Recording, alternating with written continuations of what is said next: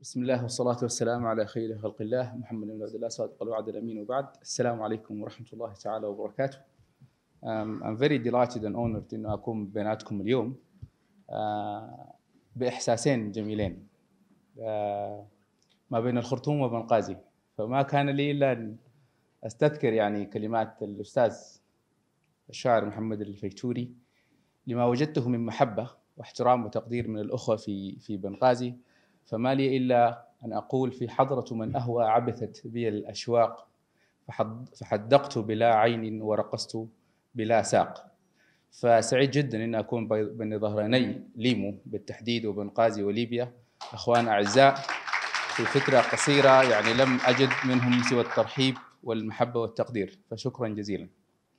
uh, Firstly, I would like to, to zoom out from Langerhans to go back to the health system at, at glance. Uh, and then from there, I would like to emphasize on a tool that's most probably used in enhancing the quality.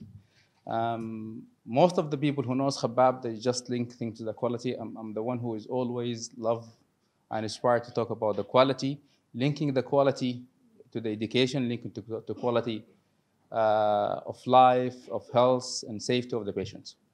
Uh, before I start my talk specifically, I would like also to go and zoom further out and linking my talks to the Sustainable Develop Development Goals as usual.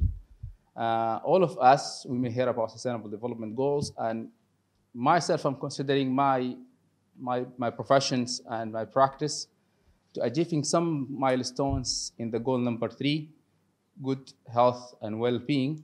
And this is tool most probably used to enhance the quality of uh, services.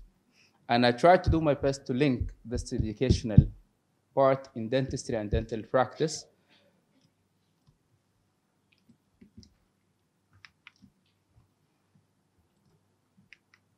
Okay, I'm going to talk about quality in healthcare, then patient safety and medical errors, continuous profession, uh, continuous quality improvement, evidence-based medicine, clinical audits, and it's important, and the role of clinical audit in general dental practice and dental education per se. When we say quality in healthcare, we should remember that it should be an effective, safe, people-centered and patient-centered, as well as timely, equitable, integrated, and efficient. This is specifically the structure and the requirement should be applied when we're talking about the quality in healthcare. If you miss any part of, of this checked item, then you need to revisit your definition and your work about uh, healthcare quality. Here is a definition from WHO.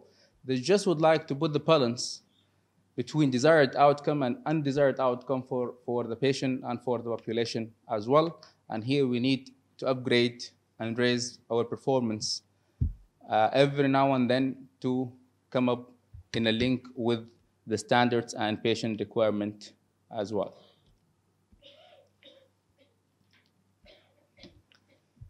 Here, do we need a quality in healthcare system? If yes, then we would like to reduce the, the medical error to ensure the safety, satisfy our customers, patient, community, uh, families and other parts of the community, optimize the use of resources, and help anticipating the problem before it's happened. Then what's patient safety?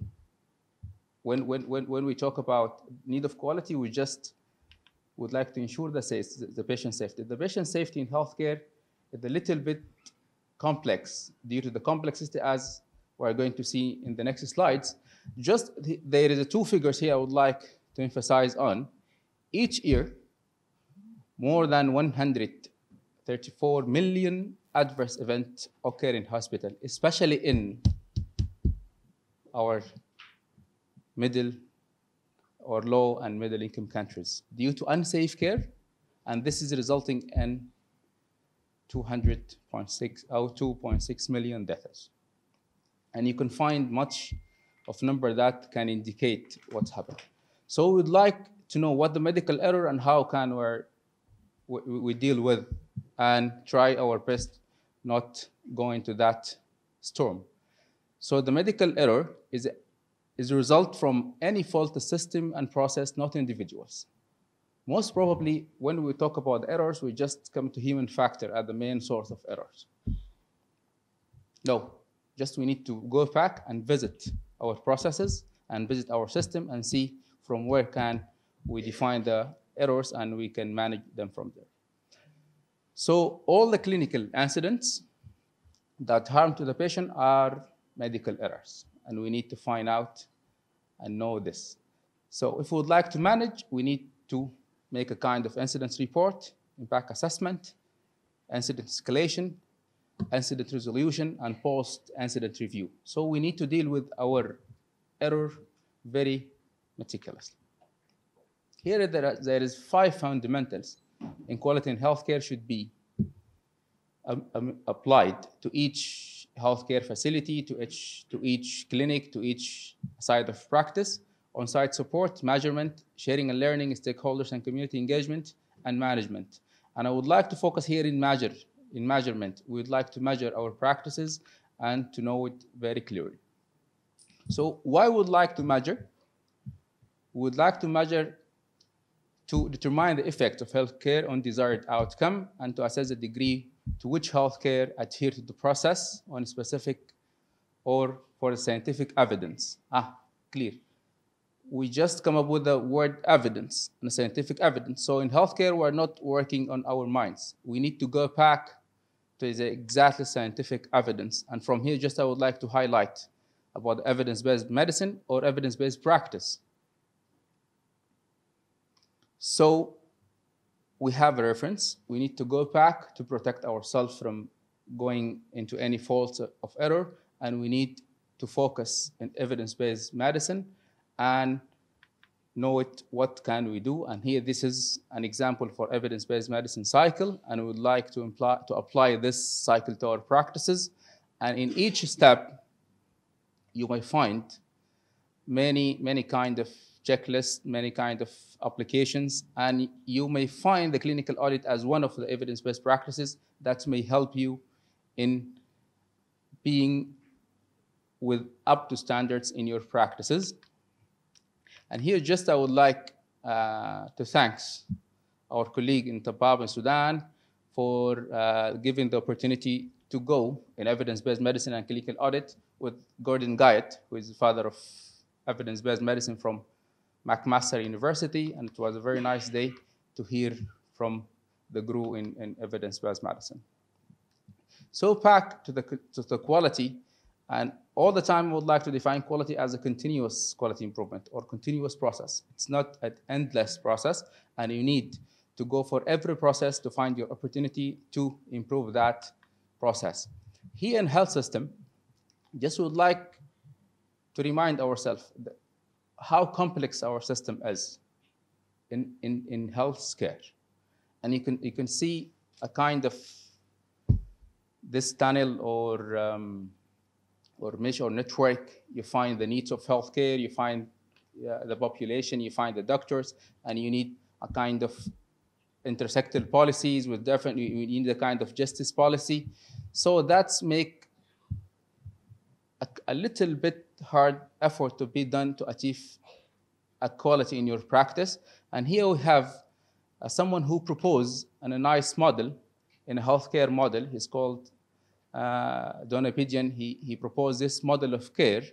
And this model of care will reflect on a three major things. That's input, processing, and output, as usual, we are, as we know. And here in the input, he put structure, the staff, department, equipment, supply, and the process, he put all the stuff that we are doing in a, in a daily base from the protocol, uh, physician's order, nursing care, and you can apply this to the dental practice as well. And here in the outcome, the complexity appear. It's not just looking for satisfying or, or getting care patient. No, we need to do the balance we talk about. We need to prevent our patients from six Ds, from diseases, from disability, from any harm, or medical error that can be occur. So we need to, to go back for our passion as love. And this quote sometimes make people laugh. The quality is about love. And in, in the literature, you are going to find this quotation from uh, Avedis Donabedian. He said, ultimately, the secret of quality is love. If you have love, you can then work backward to monitor and improve your system. Oh. Going backward, monitor and improve your system. So we need to find the tools that's needed to be used in, in that going back journey. That tools used for the monitor, that tools used for improvement. And there is many tools. One of the most important tool in the healthcare is the clinical audit, and you may find many other tools. And this is our focus is going to be on. So what is the link between quality improvement and clinical audit? So clinical audit is a systematic data-guided activities designed to bring about an immediate improvement in healthcare delivery in a particular setting. So we can we, we, we may know the audits and we have an expert in quality and they go back and check. No. In the healthcare services, we just emphasize in the clinical practices. We need to go back into our clinical practices and check what's going on there. So clinical audit is a process of systematic critical analysis of quality in dental care. That's why I link here to the dental care. You can put healthcare. You can put any kind of clinical practice that you would like to, to add, to deliver to the, uh, to deliver to the, to the patients. So what is the purpose of the, of the clinical audit? From the previous slide, you can come up with, with different uses. But he would like to catch the current potential problems before they adversely affect. So you need to be proactive. You did your clinical audit as a proactive action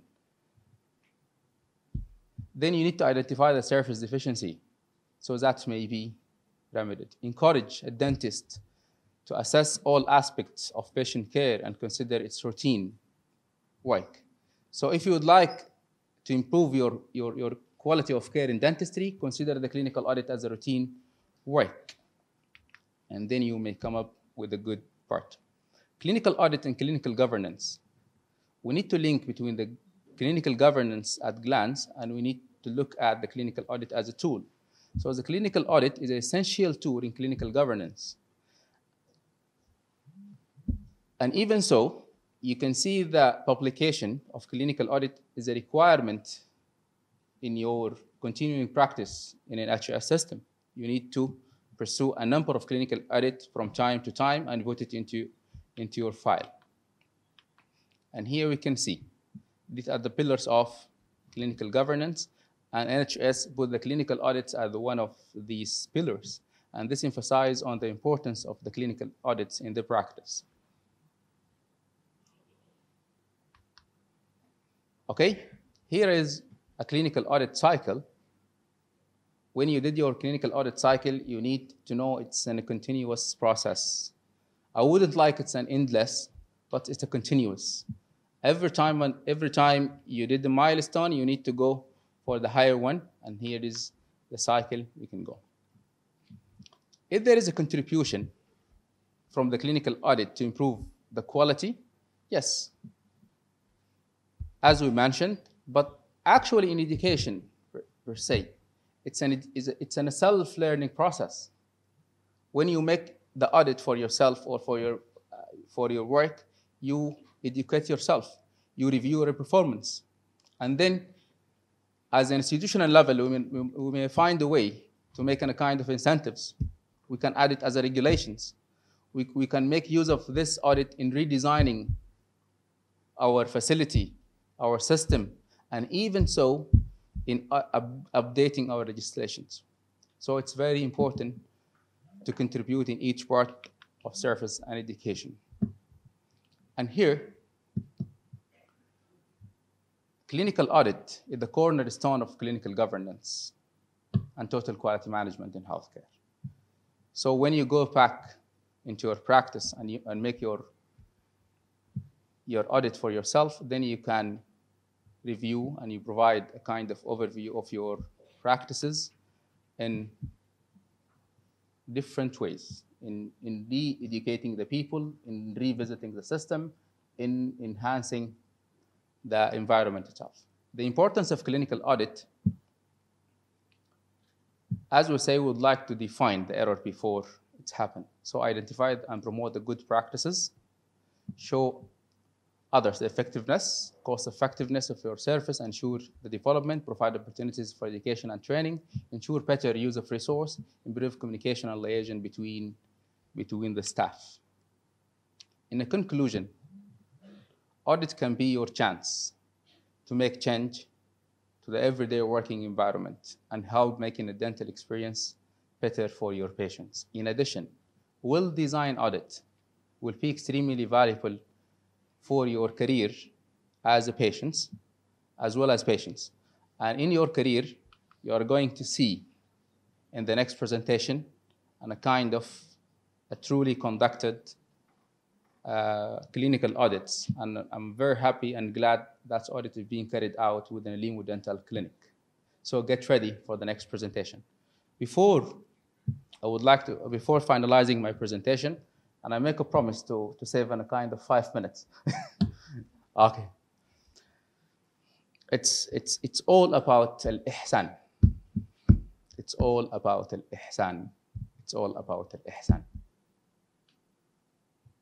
كل الأمر في الجودة وفي التدقيق وفي المراجعة هي أن نحاول أن نحسن في عملنا. إذا أنت عايز تحسن في عملك there is many tools you can make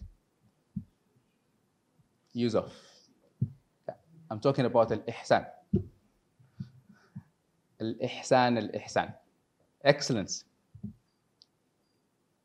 That, that, that's the aim, I think, for, for, for ours, uh, of our daily practice, of our vision and mission in life. And I, I think all of us would like to get that in that level of, of الحياة إنه ربنا يجعلنا من المحسنين. في الختام, thank you very much. Uh, hopefully it was to the point presentation. Thank you.